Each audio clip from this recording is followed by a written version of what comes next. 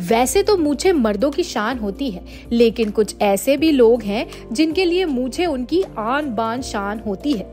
ऐसे ही बाराबंकी में तैनात एक होमगार्ड हैं जिनकी तावदार मूछ उनके लिए सब कुछ है।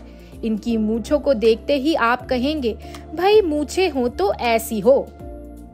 सबसे खास बात यह है कि इनकी मूछों की चिंता यूपी सरकार को भी है। यही वजह है कि प्रेम सिंह को मूछों की देखभाल के लिए हर महीने सरकारी भत्ता मिलता है।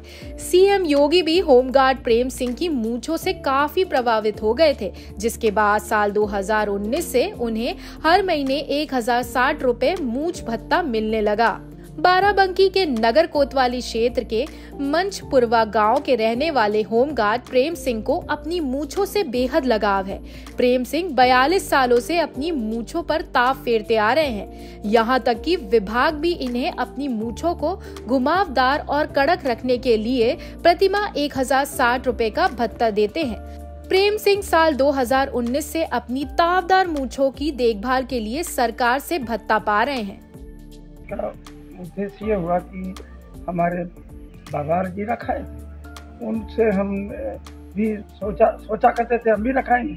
उसके बाद आरपीएसएम में हम बयासी, तिरासी में भर्ती हुए। तो लखनऊ तेज़ी आलमबाग ट्रेनिंग सेंटर में ट्रेनिंग कर रहे थे। तो बड़ा बाबू इंस्ट्रक्टर थे। उन्हीं, वही रखे थे। तो उनको देख के हमको भी शौक बड़ी तभी से हम भी रखा लिए। और अब जब से इसको रखा है, तब से हमको विशेष सम्मान हर जगह मिलता है। तो और साथ मिला।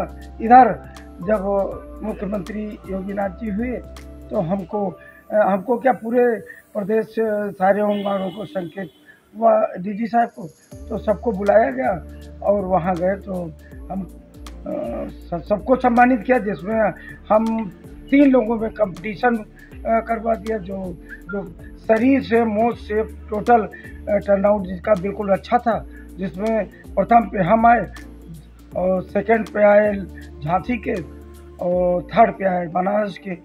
तभी से हमको इसका अलाउंस भत्ता मिलता है मोच रखने के लिए, और तभी से मिल रहा है।